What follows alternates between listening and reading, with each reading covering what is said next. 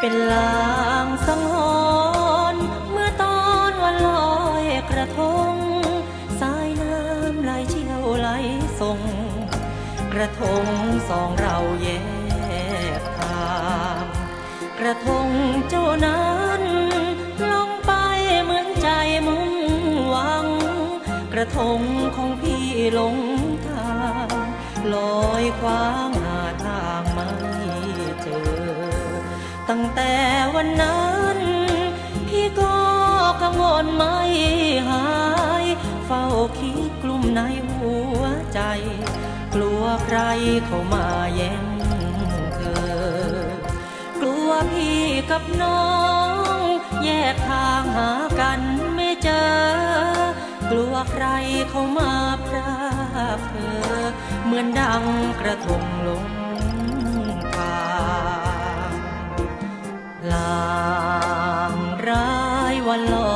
ระทงบอกเรื่องราวโดยตรงว่าความรักเราอับปาง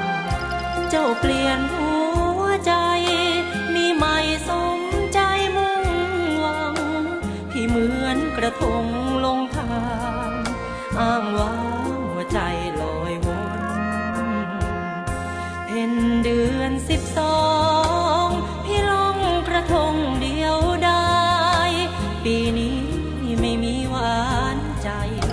เคียงกายเหมือนใครหลายคน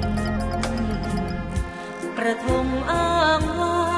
งลงไปกับสายน้ำวนเปรียบความรักที่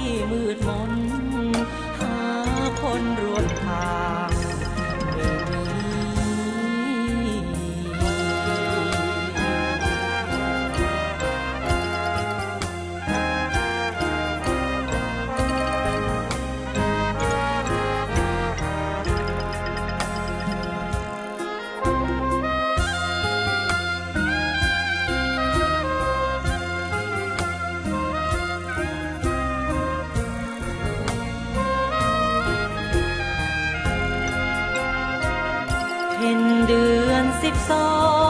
งพี่ลงกระทงเดียวได้ ปีนี้ไม่มีหวานใจ เคียงกายเหมือนใครหลายคน กระทงอ้างว้าง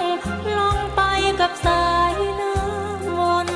เปรียบความรักที่มืดมน หาคนร่วมทาง